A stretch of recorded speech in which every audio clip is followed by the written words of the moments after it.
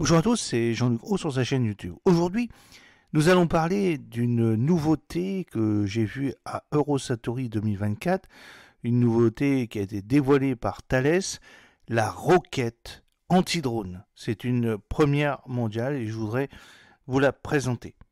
Une roquette spécifiquement dédiée à la lutte anti-drone est apparue à l'occasion d'Eurosatori, une première mondiale dédiée par Thales et qui devrait susciter l'intérêt d'armées en recherche constante de nouvelles parades.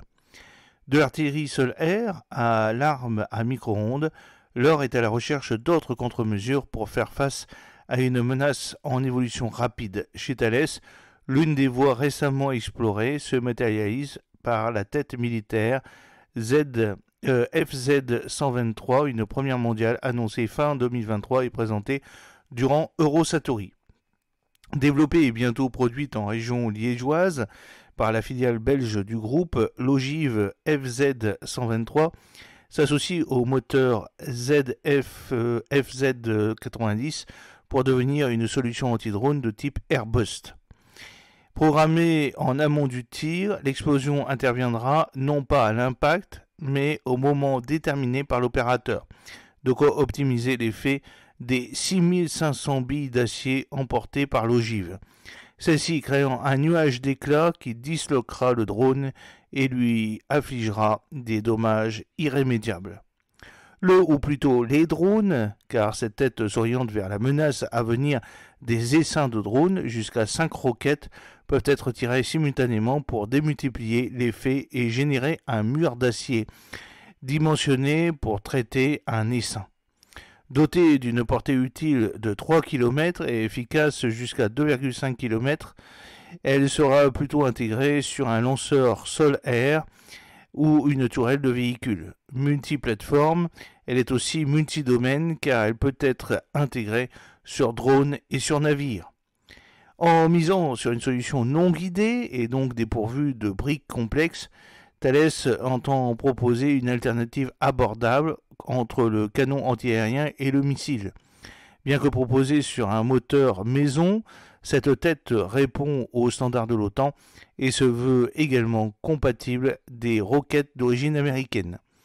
Le FZ-123 atteint aujourd'hui le niveau de maturité TRL 6.7. Reste encore quelques phases d'essai et de tir pour certifier le tout, mais nous sommes très aboutis, indique Thales. En choisissant la simplicité, le groupe peut non seulement maîtriser la facture, mais aussi le cycle de production. Les premiers exemplaires peuvent être livrés courant 2025, autant d'arguments qui ont d'ores et déjà fait mouche auprès d'un client export, confirme Thales. De calibre 70 mm, cette tête est uniquement destinée au marché export. La France, elle, conservera le calibre national de 68 mm pour le LAD, les armées françaises pourront notamment miser sur la roquette guidée laser, la FZ 275, intégrée à terme sur les hélicoptères Tigre et Guépard et potentiellement sur le drone tactique Patroller. Il s'agira de réorienter un système connu pour viser non pas des micro-ondes, mais plutôt des plateformes à haute valeur ajoutée.